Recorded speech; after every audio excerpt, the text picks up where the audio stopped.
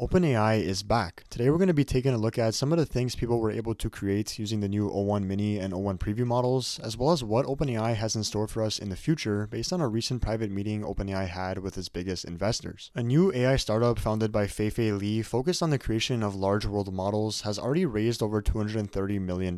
These large world models, or LWMs, they plan to build are essentially simulations of the real world in which AI is either generating itself or using to learn from. In this video, we'll take a closer look at what exactly these large world models are and the impact they can have on certain industries. Lastly, ARK Invest, an investment management firm, recently posted this article titled How ARK is Thinking About Humanoid Robotics. In this article, they state that if humanoid robots can operate at scale, they could potentially generate roughly $24 trillion in revenue, an amount that sounds insane at first, but once you take a look at how they got there, it actually starts to make sense.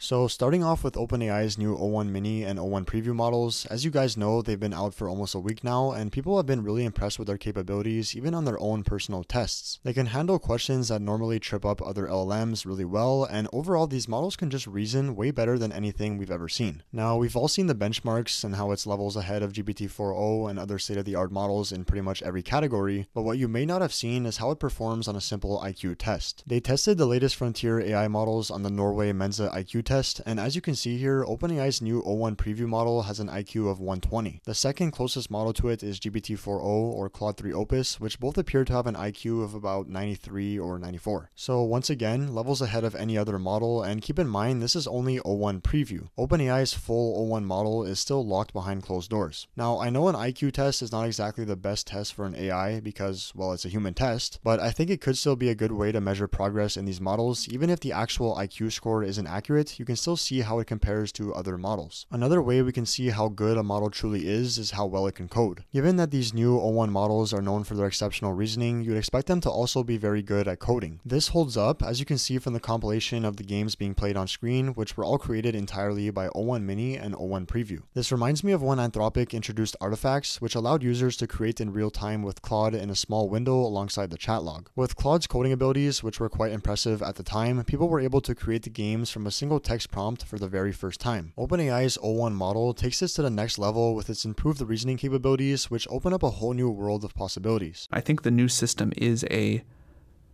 I don't want to overstate this, and I certainly don't want to overhype it, but I don't want to understate it either. This is the beginning, very early.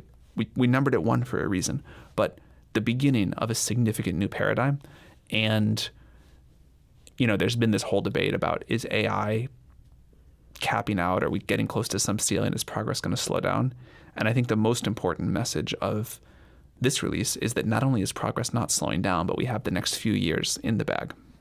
So that was Sam Altman, CEO of OpenAI, giving his thoughts on the new O1 models in a recent podcast. You might think that the O1 models are not that impressive, even after seeing the examples of what it can do, which we just looked at. But the point that Sam Altman is making here is that this is just a start. There's model O1, there's going to be model O2, O3, O4, and so on, just like we had GPT-3, GPT-4, and soon GPT-5, then 6, etc. I covered this more in depth in my previous video, but essentially these O1 models actually get better the longer they think. Noam Brown, a top researcher researcher at OpenAI on reasoning and someone who played a major role in the development of these new models, recently said this OpenAI's O1 thinks for seconds, but we aim for future versions to think for hours, days, even weeks. Inference costs will be higher, but what cost would you pay for a new cancer drug, for breakthrough batteries, for a proof of the Riemann hypothesis? AI can be more than chatbots. So this is truly a new scaling paradigm which is nowhere near its limit yet, and these next few years are just going to be insane. On that note, Sam Altman mentioned as well that they have these next few years in the bag, which I wouldn't bet against since they've been able to continuously stay ahead of their competition. We know they've been planning to work on AI agents, and we recently got some more information about that. In an episode from the All In podcast, venture capitalist and accomplished entrepreneur David Sacks revealed OpenAI's internal roadmap for the future, which they shared privately with a small group of big investors. He gives us the main takeaways from that meeting in this clip, and it's honestly pretty crazy. Just take a listen.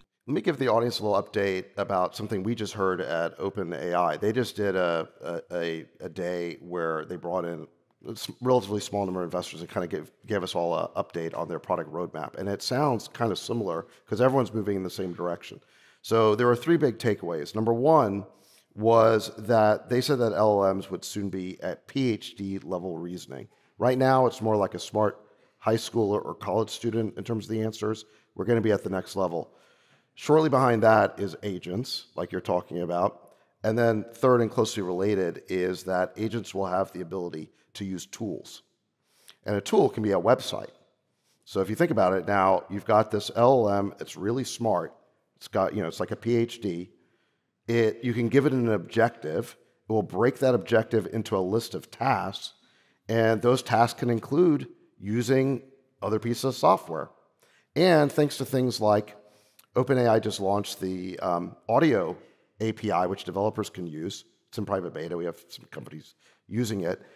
The LLM can now basically pretend to be a human. So, in the next couple of years, we're literally going to have highly intelligent AI agents that can actually get things done for us. You can imagine how useful an AI agent could be if it was able to operate a computer, for example, which is clearly where we're headed. And pair that with the fact that they can pretend to be human, as you mentioned, things are going to get really weird really fast. Now, in terms of when we will start to see AI agents from OpenAI, it's unclear, but what we do know is that their next release will likely be Project Orion, their secret AI model that was actually trained using synthetic data generated by OpenAI's O1 models. Here we have have a recent tweet from Sam Altman hinting at the release of the Orion model. He states, I love being home in the Midwest. The night sky is so beautiful. Excited for the winter constellations to rise soon. They are so great. And if you aren't aware, Orion is one of the winter constellations. So we'll potentially be getting this mysterious Orion model by the end of this year. If not, then in 2025, along with GPT-5. One more thing I had to mention regarding OpenAI, they've been discussing potentially changing to a completely for-profit company as early as next year. It states here, according to Fortune, co-founder and CEO Sam Altman told told employees at a company wide meeting that OpenAI's structure is likely to change next year, bringing it closer to traditional for profit business. OpenAI is currently structured so that its for profit arm is controlled by a nonprofit, which seems to frustrate investors. We remain focused on building AI that benefits everyone, and as we previously shared, we're working with our board to ensure that we're best positioned to succeed in our mission, OpenAI said in a statement. The nonprofit is core to our mission and will continue to exist. So I'm curious to hear what you guys think of this. I mean, OpenAI really used to be a nonprofit company that's turned into a kind of mix between for profit and non-profit. People like Elon Musk already shared their thoughts on this matter, and now OpenAI seems to be seriously considering fully embracing the for profit structure. So, do you guys think OpenAI should be allowed to even do this? And if so, why? Or do you think OpenAI is abusing the system here? Moving on, we have to talk about Feifei Li's new AI startup, World Labs, focused on spatial intelligence and the creation of large world models. They posted some information here on their official website. It states, We believe that artificial intelligence will help humans build better worlds. Progress has been rapid but we have only seen the first chapter of the generative AI revolution. Language has thus far catalyzed this electrifying early moment, with text prompted image and video models rising up alongside large language models as a harbinger of AI's potential in the visual realm. These models have already empowered people to work and create in new ways, but they only scratch the surface of what is possible. To advance beyond the capabilities of today's models, we need spatially intelligent AI that can model the world and reason about objects, places, and interactions in 3D space and time. Today, we are announcing the formation of World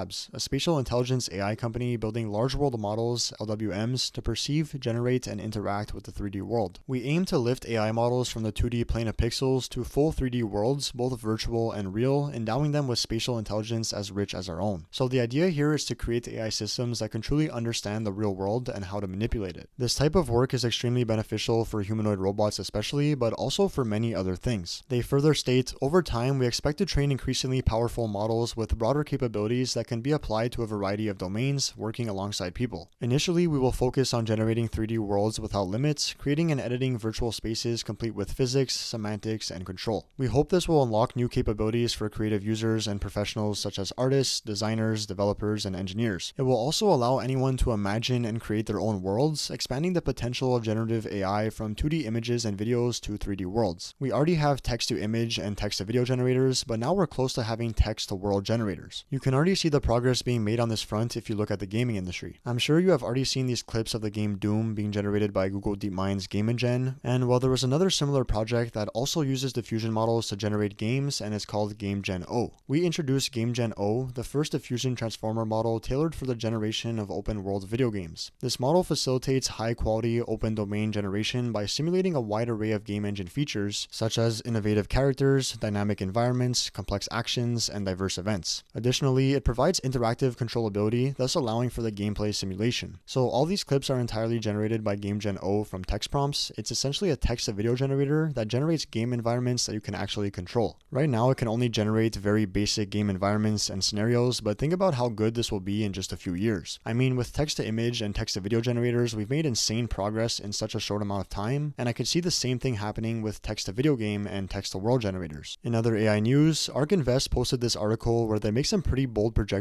about the future of the humanoid robotics industry. To start, they explain here how generalizable robotics could represent a potential $24 trillion or more global revenue opportunity. As you can see here, they calculate the potential revenue opportunity of humanoid robotics for household applications. 2.3 hours of paid work per day, which represents the average person, times 2.8 billion, the working age population, times 1075, the weighted average hourly wage, times half the value attributed to free time versus paid time. This equates to a $12.5 trillion opportunity for household applications, with the other 12 trillion coming from manufacturing. Here they're showing how much revenue humanoid robots would eat up in the manufacturing industry based on how much they can increase productivity. The green zones are where ARK Invest expects us to land, meaning a 50% to 200% productivity increase created by humanoid robots would potentially generate anywhere from 2.8 trillion to 28 trillion dollars in revenue. They further state, according to our research, the US manufacturing sector employs nearly 12 million people who work 23 billion hours per year for 785 billion dollars in pay to produce output worth 2.4 trillion dollars as shown below. In the unlikely event that it were to substitute robots for all human workers and put them to work for 16 hours per day, the manufacturing sector would need only 5.9 million robots, half the number of human workers employed today, to deliver the same level of manufacturing output as shown below. Now, in terms of how much this is going to cost, they projected here to be about half the cost of employing humans. They also have this chart here which shows how much a humanoid robot would have to increase productivity for it to be worth employing by a company. For example, if a humanoid robot is only 5% more productive than the average human worker worker at that company, then as long as the humanoid robot is cheaper than $16,000, it would save the company money. You can imagine that a humanoid robot who never takes breaks or gets tired would likely result in more than a 5% increase in productivity over the average human worker. So this is why it's literally going to be a no-brainer for companies to hire these once they become good enough. Overall, I honestly think their projection of $24 trillion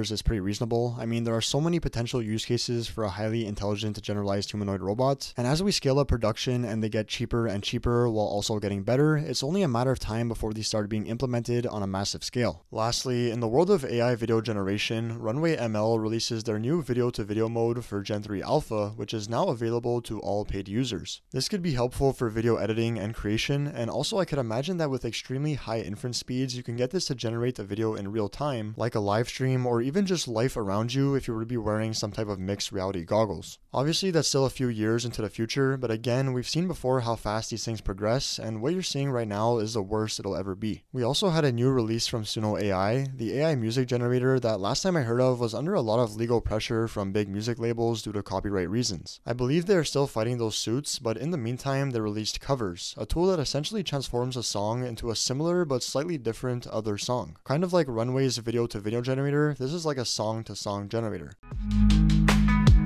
Once upon a time, could have made this all up.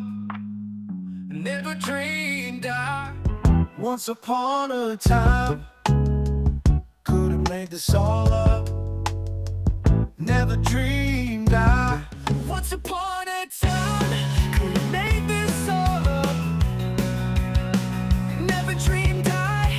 Anyways, that's all the news for today. Thank you guys for watching. If you enjoyed the video, please feel free to leave a like or comment. And as always, if you want to stay up to date on future AI news just like this, make sure to hit that subscribe button.